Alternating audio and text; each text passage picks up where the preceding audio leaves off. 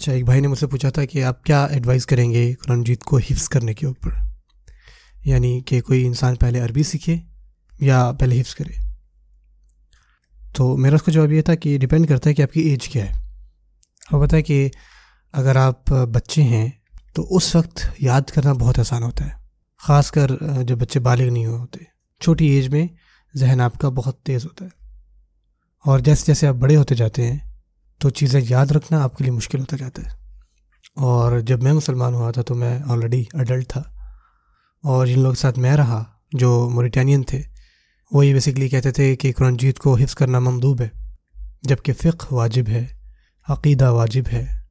तो जो लोग बड़े हैं, उनको मैं यही एडवाइस करूँगा कि पहले वो अरबी सीखें, क्योंकि उससे आपको दीन समझ आता है।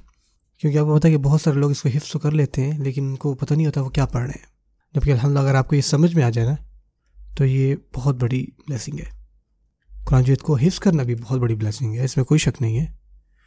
होता है मुरतब हज, जो उन्होंने जो सबसे पहली चीज़ मुझे बताई ना ख़ास कर उन्होंने हिफ्स के बारे में मुझे ये कहा कि हिफ्ज़तरैन खैर मिन क़राअती वक़रैन कि कोई भी दो आयात को हिफ्स करना दो ऊँटों के ऊपर भार से बेहतर है।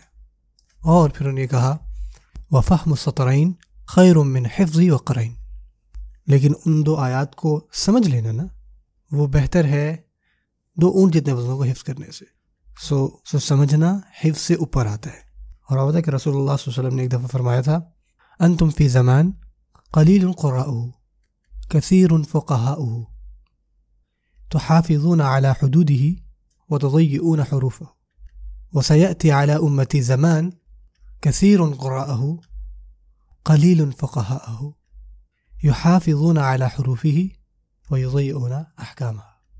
उन्होंने फरमाया कि आप के वक्त वहाँ पे बहुत सारे लोग नहीं थे जिनको हिफ्स था लेकिन अक्सर को अहकाम पता थे उन्होंने फरमाया कि मेरी उम्मत में एक ऐसा भी वक्त आएगा कि बहुत सारे लोग पढ़ने वाले होंगे लेकिन समझने वाले बहुत कम होंगे कहने मकसद ये कि हिफ्स करना कोई मनफी चीज़ नहीं है नाउबिल्ला बल्कि हिफ्स करना बग़ैर समझे ये काफ़ी नहीं है। सो so, ख़ास कर मैं इनक्रेज करूँगा उन लोगों को जिनकी औलाद हैं कि अगर वो कोई अच्छा कारी ढूंढ लें और इसमें भी आपको यकीन करें बहुत केयरफुल होना पड़ता है। जबकि आप देखते हैं कि बहुत ज़्यादा व्यूज़ होता है। सो so, आपको अच्छे और ईमानदार लोगों को ढूंढना है। और हमेशा आप आप भी उनके साथ बैठे हों। बच्चों के साथ कोई भी अकेला नहीं होना चाहिए। और ये सुन्नत है। आता है कि अबू हनीफ़ा तु हमेशा इनक्रेज करते थे कि जो भी मेरी मजलिस में आए, वो दाढ़ी रख कर आए। उनसे पूछा कि आप ऐसा क्यों कहते थे? उन्होंने कहा कि यही चीज़ मैंने अपने इस से सीखी है।